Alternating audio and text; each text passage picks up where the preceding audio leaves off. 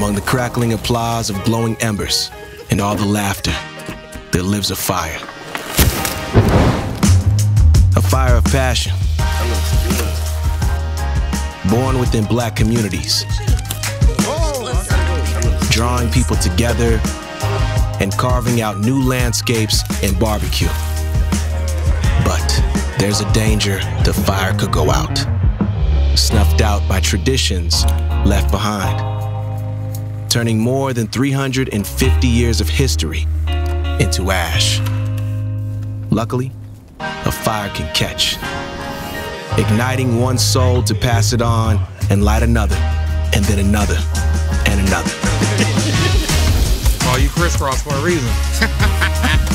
we continue to stoke the embers, making space for even more pitmasters and entrepreneurs to forge their own path, uplifted by all the flames that came before, so that we can preserve the pit.